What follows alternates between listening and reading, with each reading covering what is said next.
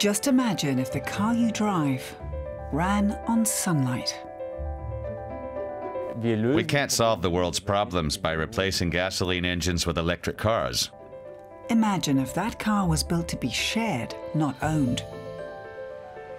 Some people are trying to make that car. And if they succeed, they might just change the world. We really have to think in generations, far more longer term. That's what we're fighting for. This is the story of two young inventors and their creation, the Sion. It's also the story of a dream that almost died before it was rescued by one of the biggest crowdfunding campaigns ever seen in Europe.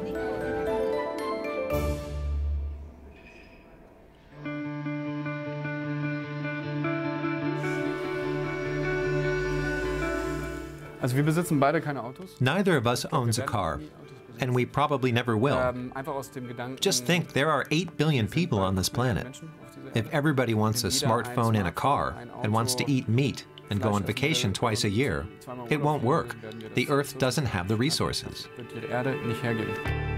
Laurin Hahn and Jona Christians may not own a car, but they certainly invented one, the Sonos Sion, an electric car that can charge itself using solar energy panels.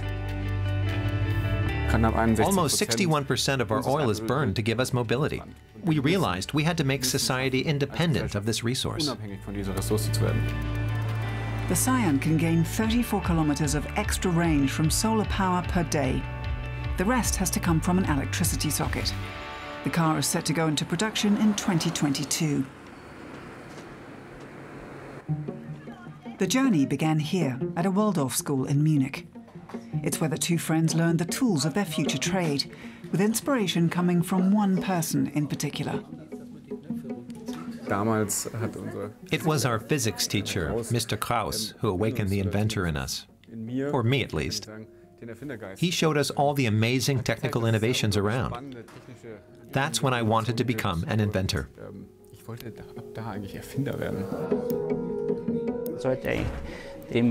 The idea is to familiarize people with technology and how it works. That's the only way they'll feel connected with the world and get their grounding.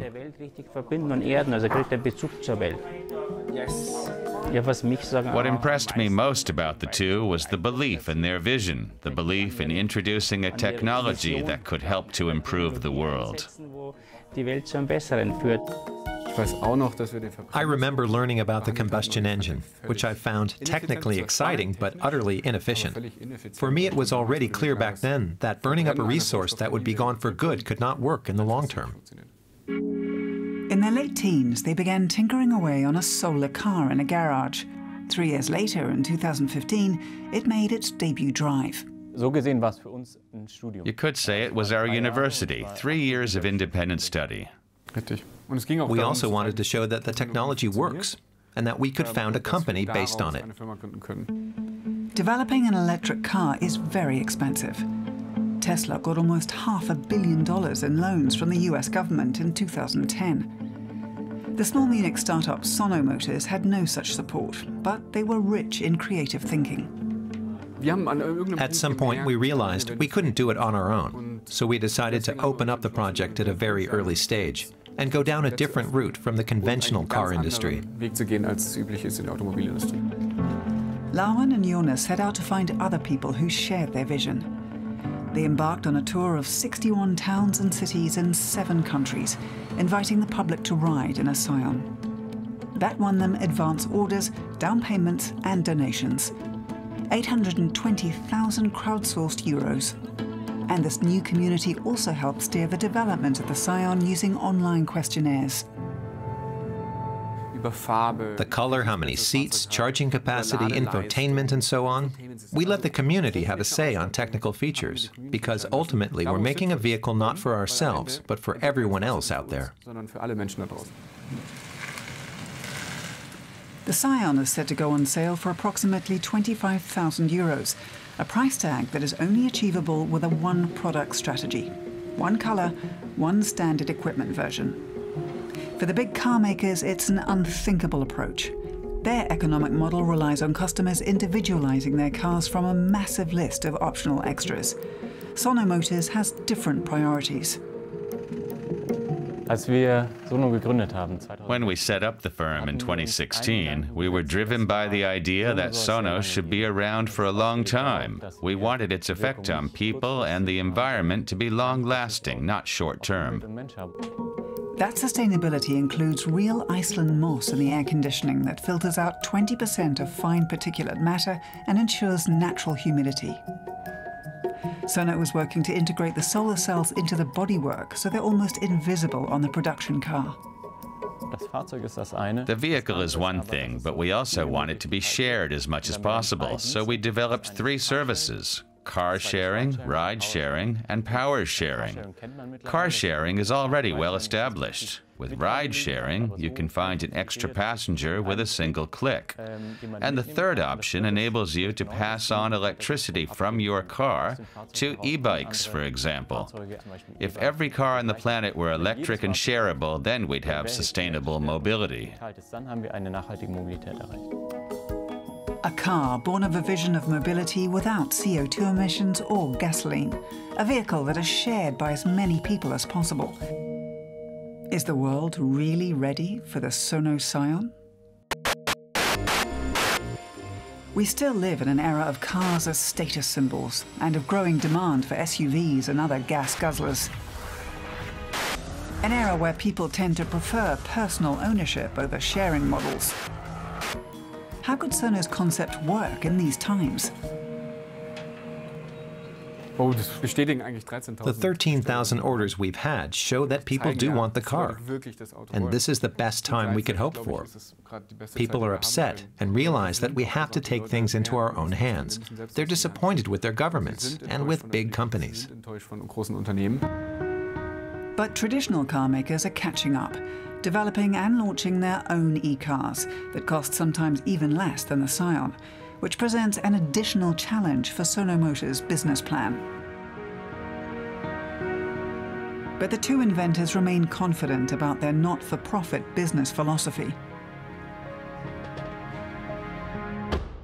Our stated company objective is to protect the environment and people and nature. The notary smiled when he read that. He said he'd never seen anything like it before. We know that EVs aren't always green, but we can see a far bigger chance, with 100% renewable energy, with recycling, and with sharing, of completely rethinking mobility, and above all, ensuring a future for cars. Because the current way of doing things is 100 years old and hasn't evolved at all. But at the end of 2019, the company nearly hit the end of the road. To build the final prototype, Sono needed an additional 50 million euros. But a number of investors had lost faith in the project and pulled out, saying the profit margins were too small. Obviously, the Sion is not going to give you the kind of margins that a sports car will. It is financially feasible, but it isn't the sort of technology you would put into cars in the higher price segment. But the 13,000 people supporting us do not want us to throw in the towel. So we gave the whole thing a rethink, meaning it's about the people who want the Sion and this new approach to doing business. That's why we're doing this, and they are the ones who can make it possible.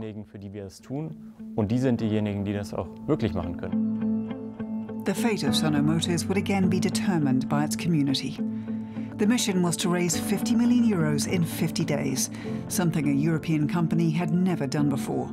Suddenly, the two young founders were busier than ever. They were the most demanding few weeks of our lives, physically and mentally. We had to work non-stop through the Christmas holidays and New Year.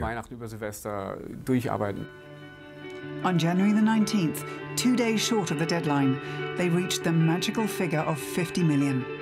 The rescue was partly thanks to two major investors increasing their stakes. Hitting the 50 million mark on January 19th and closing with 53 million gave us massive confirmation that we were doing things right. We knew we could carry on and bring our car to the streets. It told us to fight for a new kind of entrepreneurship. And that's what we're going to do. 53 million is, in a way, just a number, but having 7,000 people supporting Sono financially during the campaign is really encouraging. The figure is one thing, but meeting these people and seeing how much they care is something else. They've also had a hand in developing this car. Sono was still celebrating when the coronavirus pandemic hit. But with its funding secure, the firm has pushed on. A further 200 million euros is needed to begin mass production of the Sion in the Swedish city of Trollhättan. The former Saab factory has been given a new lease of life and is now 100% powered by renewable energy, of course. The story of Sono continues, with the lesson so far that visions can become reality if enough people believe in them.